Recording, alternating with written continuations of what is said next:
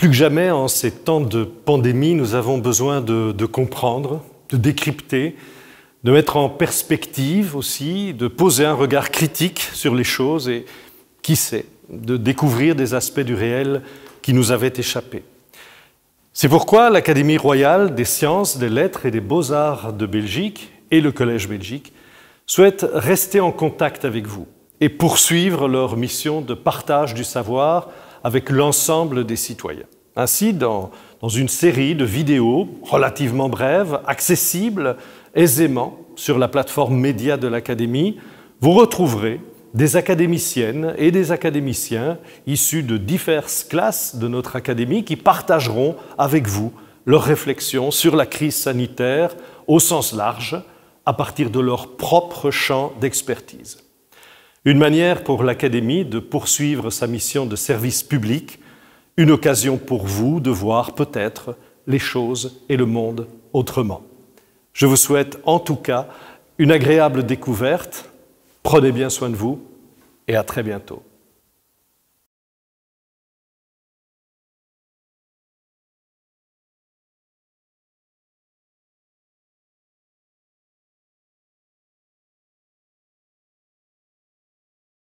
Non, les droits de l'homme et les libertés fondamentales ne signifient pas que nous pouvons faire tout ce qu'on veut.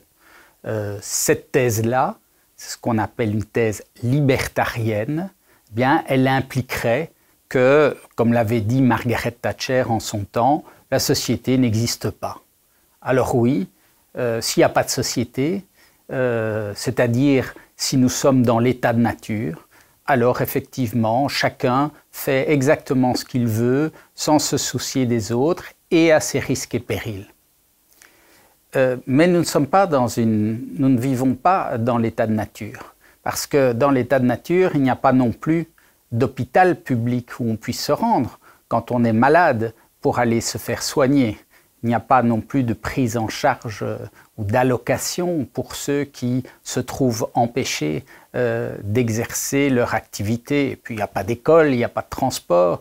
Euh, bref, il n'y a pas toutes ces institutions, tous ces services publics qui font que notre état de droit démocratique qui protège et qui garantit les droits de l'homme et les libertés individuelles est aussi une société euh, solidaire, une société à proprement parler. Alors si la société existe, l'idée selon laquelle, qui est défendue par certains, selon laquelle finalement ma liberté individuelle est plus importante euh, que les contraintes, que les règles, et qu'on ne peut m'interdire quoi que ce soit, eh bien, c'est exactement ce que nous reprochons euh, à euh, ces entreprises multinationales, ultralibérales, qui ne se soucient que de maximiser leurs profits,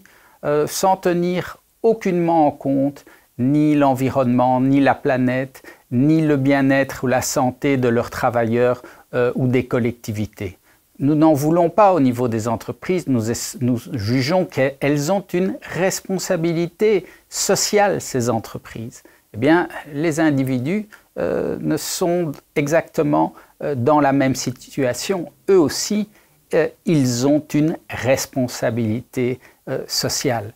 Ces progrès d'un individualisme forcené, qui en fait est un égoïsme total, euh, est un signe inquiétant du délitement de notre euh, société. Car dans une société, il y a des droits, fort heureusement, et ils sont absolument fondamentaux, mais il y a aussi des obligations, euh, il y a des règles, il y a des contraintes, il y a des limites, et il y a des responsabilités envers les autres. Certes, chacun est responsable de sa santé, mais nous sommes aussi responsables de la santé des autres. Euh, nous ne pouvons pas dire euh, chacun se débrouillera. Nous, devons agir en fonction du bien-être des autres et de la collectivité en général. Alors, les droits de l'homme effectivement, euh, ne permettent pas euh, davantage d'être brandi pour dire qu'on ne peut pas porter un masque ou de respecter un couvre-feu, pas plus qu'ils ne nous permettent de rouler en voiture sans ceinture de sécurité ou euh, d'aller à la vitesse que nous voulons sur les routes ou encore euh, de boire euh, de manière déraisonnable avant de prendre le volant. C'est exactement la même chose, il n'y a pas ici de différence.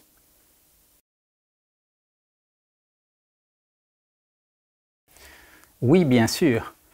Le fait que le gouvernement, que les autorités publiques puissent prendre des décisions euh, qui restreignent nos libertés, nos droits fondamentaux dans certaines circonstances exceptionnelles ne, signifie pas euh, qu'ils peuvent euh, faire tout et n'importe quoi. Il y a des limites qui sont au nombre de trois. D'abord, il faut que les mesures qui sont prises par l'autorité publique apparaissent nécessaires pour atteindre un objectif fixé qui doit être un but légitime. Ici, en l'occurrence, il s'agit de prendre des mesures euh, pour lutter contre la propagation d'une maladie très contagieuse et mortelle. Euh, Tel ne serait pas le cas si on imposait par exemple un couvre-feu pour éviter que la population se réunisse ou manifeste euh, pacifiquement à l'égard d'une mesure qui est prise par le gouvernement.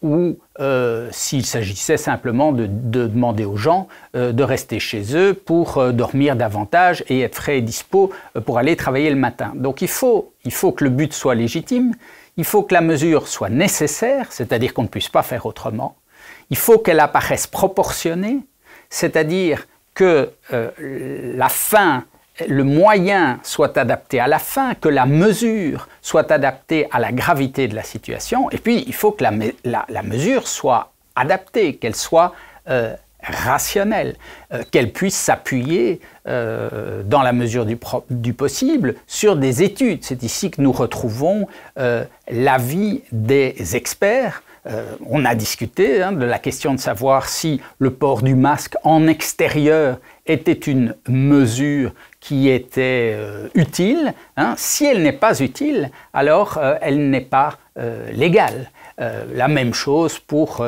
la distinction qu'on a voulu faire entre la fermeture des bars et l'ouverture des restaurants. Donc ça, c'est la première grande condition de fond euh, il faut qu'il y ait un objectif légitime et que les mesures soient absolument nécessaires, qu'elles soient adaptées et proportionnées. Euh, la deuxième chose, c'est que de telles restrictions des droits et des libertés ne peuvent pas être prises par n'importe qui. Et en réalité, elles ne peuvent être prises que par nos représentants démocratiquement élus, c'est-à-dire euh, au niveau des parlements et donc de la loi, en ce qui concerne le fédéral, des décrets ou ordonnances en ce qui concerne les régions et les communautés.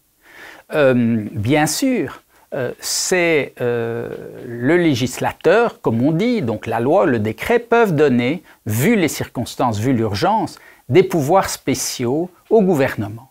C'est ce qu'ils ont fait entre mars et juin. Mais pour l'instant, il n'y a pas de pouvoirs spéciaux qui ont été confiés au gouvernement et euh, les mesures qui sont prises euh, sont d'une légalité qui est très douteuse, euh, que ce soit donc des mesures prises par un gouvernement, un ministre ou même un gouverneur ou une autorité locale. il n'y a pas, on n'est pas là dans les conditions qui sont requises par notre Constitution pour euh, restreindre les droits de l'homme et les libertés publiques, et donc il faut qu'on y mette bon ordre. D'autant plus que, et c'est la troisième euh, condition, il va falloir que euh, ces mesures qui ont été prises puissent passer l'épreuve du contrôle par le juge. Hein. on a vu que certains secteurs, certains commerçants par exemple, ont dit qu'ils allaient attaquer la légalité de certaines mesures. Et donc, effectivement, nous avons dans un État de droit démocratique la Cour constitutionnelle ou le Conseil d'État ou parfois encore d'autres juges qui vont pouvoir apprécier si ces mesures sont valables ou non.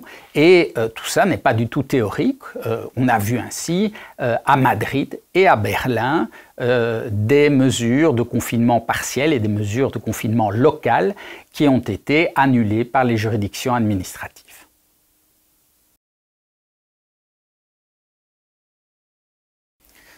La responsabilité des gouvernants dans cette période de pandémie, elle est capitale, elle est majeure. Euh, les gouvernants ont le mandat public de prendre en charge la protection de la population et de prendre euh, justement les mesures qui sont adéquates et nécessaires pour protéger celle-ci. Or, la situation en Belgique, à la faveur euh, de, cette crise, est particulièrement mauvaise. C'est ce que la population voit, mais c'est ce qui est objectivé par des chiffres. Avec, euh, euh, durant la première saison, si on peut dire, euh, un, nombre de décès qui, proportionnellement à la population, met la Belgique parmi les pires pays au monde, et en particulier en raison de la moitié, la moitié des, décès sur les 10 000 morts étant dans les maisons de repos où il y a eu un vrai problème. À nouveau, euh, alors que nous entamons la deuxième saison, euh, nous sommes dans la situation qui est euh, la pire en Europe et la situation de l'Europe étant la situation qui est la pire du monde. Donc à nouveau, de très mauvais résultats.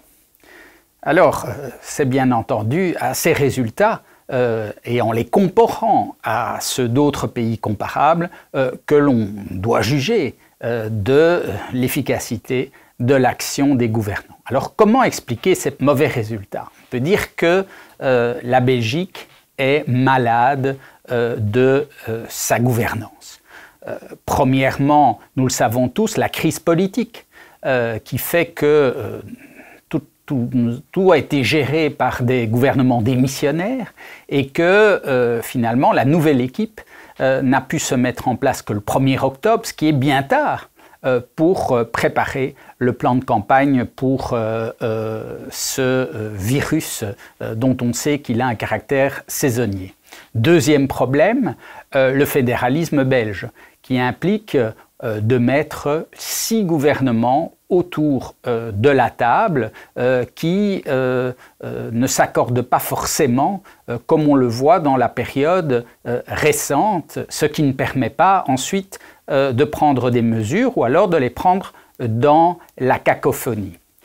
Troisièmement, ces six gouvernements sont chacun des gouvernements de coalition avec euh, un nombre important de partis politiques, euh, ce qui aboutit à chaque fois, selon euh, une technique qui a ses avantages, le compromis à la belge, elle a ses avantages pour résoudre des problèmes purement politiques, mais elle a également de grands inconvénients lorsqu'il s'agit de résoudre un problème comme le virus qui, lui, se moque de la langue que parlent ces victimes et de leur couleur politique. donc quand on accouche de demi-mesures, euh, ça pose des problèmes. On a remarqué aussi, et ça c'est un problème très fondamental euh, dans ce pays, que les gouvernants ont une grande difficulté à respecter les règles, même les règles qu'ils se sont eux-mêmes fixées. Euh, par exemple, dans le domaine de l'enseignement, nous avons tous vu qu'il y avait des codes, couleurs qui ont été édictés des mois à l'avance, jaune, orange, rouge, et euh, une très grande difficulté au moment de les mettre en œuvre à en réalité respecter ces règles que euh, les ministres eux-mêmes avaient fixées, en mettant tout un tas d'exceptions, en changeant les règles tous les trois jours, ce qui n'est pas un bon euh, mode euh, de gouvernement. Et finalement, ce que euh, nous donne ce système de gouvernance, c'est au fond quelque chose qui nous interroge très sérieusement et qui est un phénomène de dilution de la responsabilité, finalement avec une situation dont tout le monde est d'accord euh, qu'elle est très mauvaise, mais euh, c'est jamais la faute à personne et euh, que soit la faute à personne permet aussi d'expliquer et euh, que au fond personne n'est véritablement pris au sérieux et préparé correctement les choses pendant l'été. Si on prend encore une fois la crise des maisons de repos, on se rend compte, euh, c'est aujourd'hui documenté, que euh, tout un tas de personnes euh, très malades qui étaient dans ces maisons de repos, eh n'ont pas pu être admises à l'hôpital alors qu'il restait des places à l'hôpital. Et quand on essaie de comprendre qui a pris cette décision, on se rend compte qu'en réalité, aucune décision n'a été prise. Et donc quand on se situe dans un système où on ne peut pas, euh, il ne s'agit pas de désigner euh, un, méchant en quelque sorte qui aurait euh, voulu faire du mal, il s'agit simplement d'accumuler des non-décisions et des gens qui se renvoient la balle d'un système, d'un gouvernement vers un autre, pour arriver en réalité à ce qu'une pratique se développe et que cette pratique aboutisse à des résultats qui peuvent être criminels. Car responsabilité, ça veut dire avoir à répondre d'eux, et ça veut dire que euh, les gouvernants qui ont mal exercé ces responsabilités devront en répondre sur le plan politique, mais aussi sur le plan judiciaire, notamment pour avoir euh, ne pas avoir porté euh, assistance à personne en danger ou euh, avoir provoqué par leur négligence euh, la mort d'autrui.